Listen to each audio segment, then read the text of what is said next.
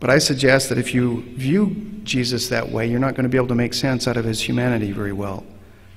First of all, he wouldn't really suffer as a human being because one of the greatest problems of suffering as a human is we don't know when it will stop and we can't stop it.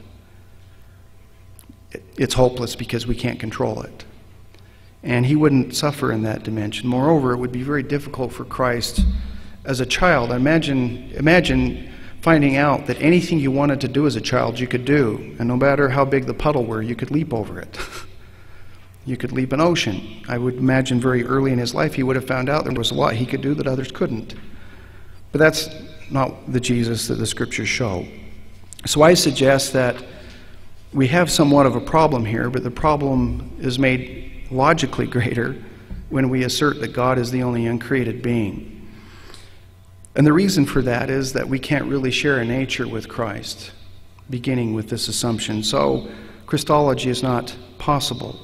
Now, when our friends in the Christian, Jewish, and Islamic traditions, and let's focus on the Christian tradition for a moment, say, You have a different Jesus than I do, I always say, What do you mean? Do you mean that you believe that I believe in a different person was walking around the Palestinian countryside than you do?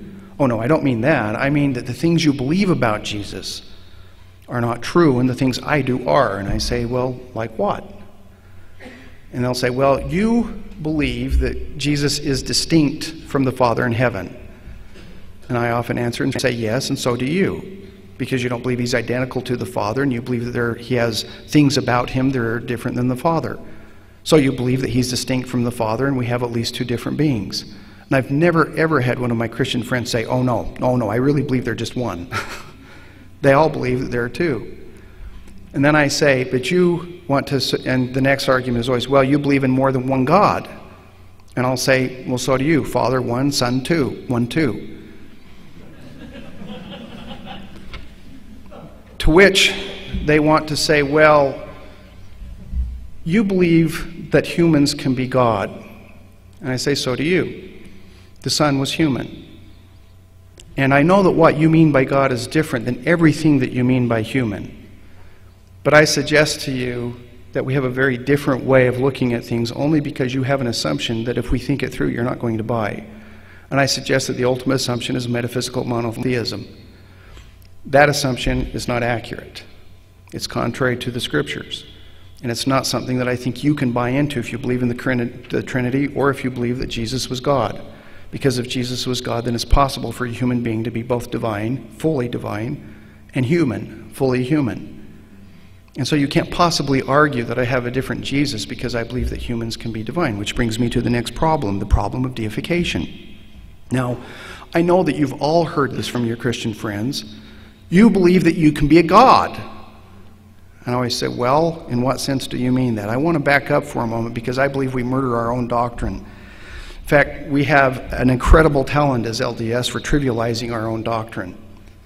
I don't know where we came by this talent, but I suggest it comes naturally. I want to use three analogies to suggest the doctrine of theosis or the doctrine of deification. If you talk to your Christian friends and say, We actually believe in the same doctrine, you believe that we will share everything that God has, that we are His heirs, that we are His begotten children, and that we will be fully glorified with everything that he is and has. And it's called the doctrine of glorification. That's what Protestants call it, at least. And they'll say, Yeah, so? And I'll say, Well, you have a misimpression about what being deified means in Mormon thought. Now, I'm going to parody Mormon thought for a moment because I think that this is what they're thinking of when they reject it, and they ought to reject it. What they're thinking of is that someday, when I say I'm going to be a God, I'm going to take about 40 of my wives, I'm going to fly off to a corner of the universe that God hasn't quite gotten to yet, and I'm going to organize it. And I'm going to be all alone, self sufficient, like the saints were when they first got to the Rocky Mountain Basin. That's not what we mean. I'm going to use three analogies to suggest what we do mean. The first is one that I can agree on fully with my Christian friends and which they have used in their own literature. It's an iron and a fire. Say you have a tire iron and you stick it in a fire well, the iron will become hot. Now, it's not the nature of the iron to be hot, it's only hot when it participates in the nature of the fire that has a nature to be hot. So I have a distinct nature, an iron, and it, it has a property of the fire communicated to it heat. In the same way, they would say that our Father has a nature, it's an immortal nature. And He communicates His life to us, and that's how we have mortal li- immortal life with our Father. So God has communicated to us a property that only divinity has, and that is immortal life. And so that's what they mean by deification. God communicates something of His own divine nature to us, and in that sense, we share divine nature. I suggest that we mean at least that when we talk about deification. I'm now going to use another analogy, but I believe they would have to reject it. It's, when we talk about deification, we often think of it in terms of, of son becoming like his father.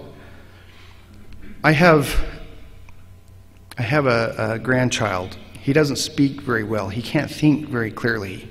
Has a lot of fun playing most of the time. And he's not very much like me at all.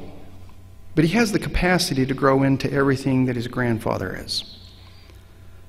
But nobody could ever guess, just looking at him, that he has these capacities. Now, this is a fairly decent analogy for what we mean by deification, but it certainly doesn't go far enough. And why not? Well, deification is not simply a matter of just hanging around long enough to grow into what our Father is. We don't simply become God because we're good and we live a long time. So I want to correct a misimpression that I think is very common. I want to use another analogy. It's very clear reading our own scriptures and the lectures on faith. The deification only arises when we enter into a certain type of relationship. It's a relationship of indwelling love. That is, it's a relationship, the, the very type that the Father and the Son and the Holy Ghost have with one another.